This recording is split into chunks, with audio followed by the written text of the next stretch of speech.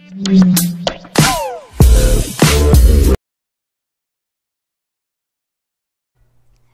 everyone, my name is Hyemin. I go to the Songhwa Center. Today I'm going to tell you it's summertime.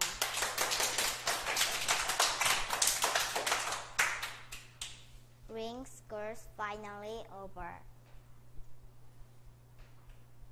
Summertime is here again. I have many plans this summer. I go to the beach every day. I go camping with my family. I go biking with my friend. I listen to grandma's fun stories. I help grandpa in the garden.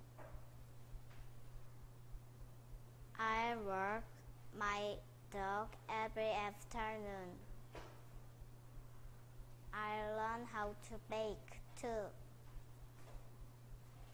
This summer will be so much fun. Thank you for listening.